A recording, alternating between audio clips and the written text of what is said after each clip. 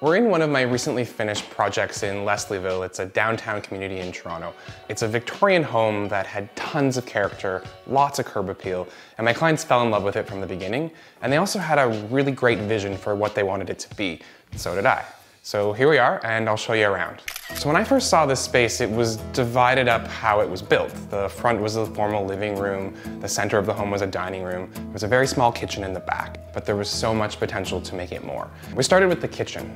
My clients Adam and Ryan really wanted an island, so the best place to do that was at the widest part of the home, being the center of the house. I love this because it's the hub of the home. We've got the dining room on one side, the living room on the other, and it's a really nice, generous space. It's also nice and bright because of this extra window. The cabinets are a black shaker finish, which I really love and actually did in my own home. Instead of a real marble, we went with a very good faux. We knew we wanted the wearability of quartz, so it was finding something that looked the most like marble as possible. There's some natural veining and the overall color is kind of light white and gray. The appliances are black stainless steel, so they really blend well into the cabinets. I also love the styling, these kind of meaty handles. They're quite industrial. It's more of a chef's kitchen kind of feel. Uh, we repeated that also on the dishwasher and then the matching gas range. Really sexy if you ask me. This section here with the range is my favorite part of the kitchen because it's symmetrical with this very simple mod vent hood flanked by the walnut shelves which really relate to the tone of the floor and add a lot of warmth and interest to the relatively black and white space. Because this isn't a giant kitchen, we wanted to have some relief. If, with upper cabinets it would get a little heavy, so the open shelves are the perfect solution for this. We changed the countertop over in the coffee bar area. It's a nice warm wood that relates well to the shelves. So the living room was originally a tiny kitchen. We turned it into a living room because we knew we wanted the most amount of light. And by adding these great industrial style sliding doors, it's really maxed that out. And it really lends to the kind of overall feel of the house. I like this space because it's all you need. There's enough room for a couch, a couple of chairs, a TV, and it also really sets the tone. It's something you see the minute you walk in the door because of this great sight line from the front. And its proximity to the kitchen is great because it's a little more like an open style living plan, but it's still separated, so you still have privacy from the kitchen.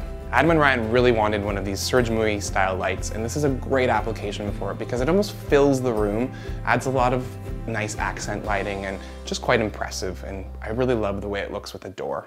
So the dining room was originally a living area with French doors onto the dining area. It was a bigger space, so we've kind of maintained the same footprint, but we're able to carve out some space for a small powder room and the entranceway. We went with a hex mosaic on the floor, which you would often see in like a bistro restaurant, and it really sets the tone when you walk in the door because of all the black and white and the feeling of tradition, but then it's also pretty cool and contemporary and will live on for many, many years to come. The black doors are also a really impactful part of this entranceway. The details like the crystal knobs and the little bits of brass are really the kinds of things we went for here. Knowing the place was going to be kind of simple and mod, I wanted to have these moments of traditional to really tie it into the bones of this Victorian home. The powder room is always an opportunity to really go for it, whether that's wallpaper or paint, or in this case, a really interesting floor.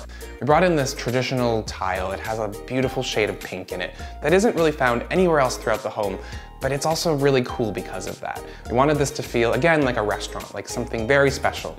Also a great opportunity to take a selfie.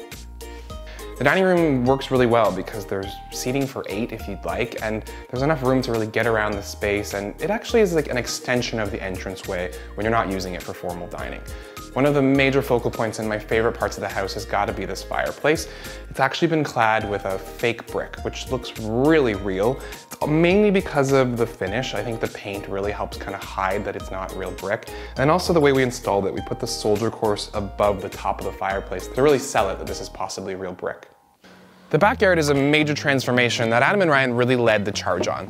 There's three different zones. This upper tier is mainly for cooking. There's also a dining area and then a lounging area. The large deck makes it really easy to take care of because there's very little maintenance.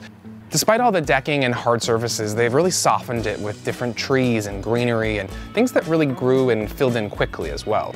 It looks like a more mature garden, even though it was all just planted last summer. It kind of feels like a chic urban getaway. This was the largest bedroom in the house, so an obvious choice to become the master.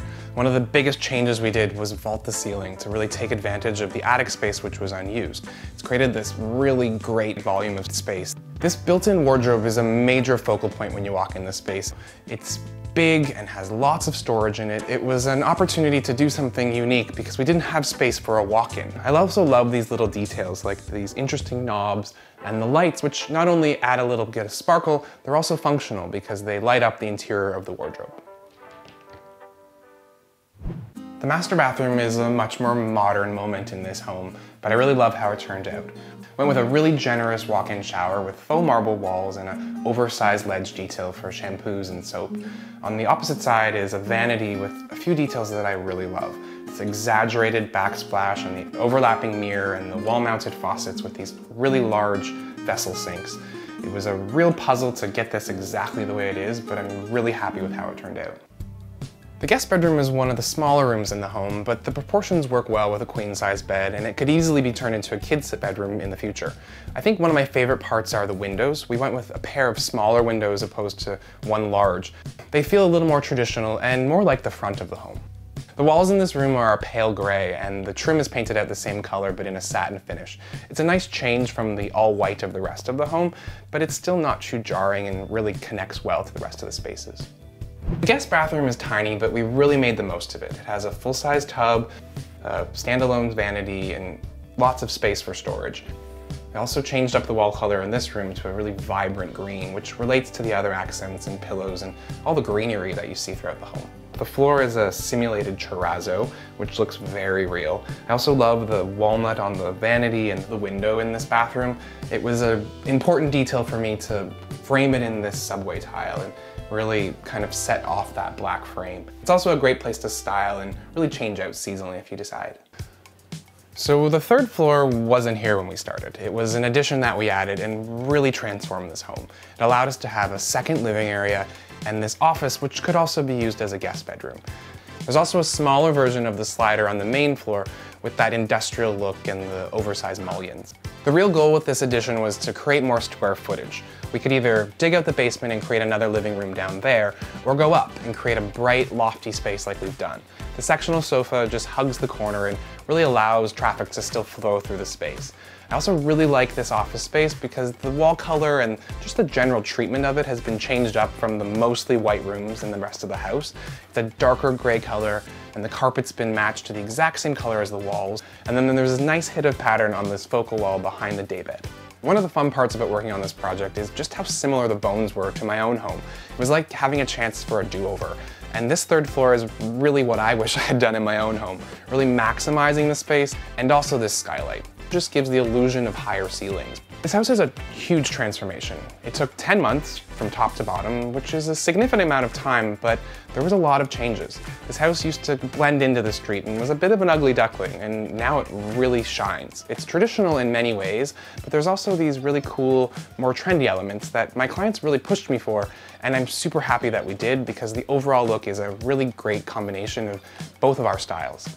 I know that they're really happy with this and will be here for a long time to come.